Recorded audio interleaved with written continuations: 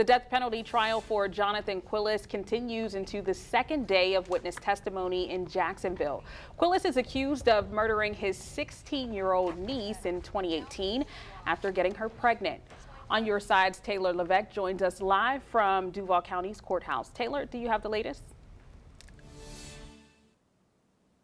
Yes, so far this morning, members of both law enforcement and members of Ayanna Sawyer's family have testified. So far this morning, it started with reviewing the last known surveillance images of Sawyer on the campus of Terry Parker High School before she disappeared and was reported missing in December of 2018. The school safety officer says Sawyer was last seen on video walking north on Townsend Boulevard.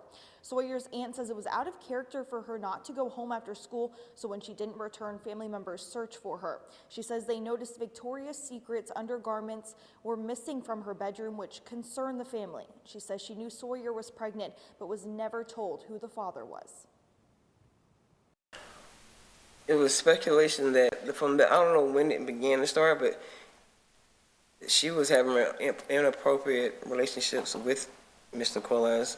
And you knew that personally at that time. I know now, having been so long, but at that time, in December of 2018, did you know that? It was all thought up and brought up. We, did we have actual evidence? No. Okay.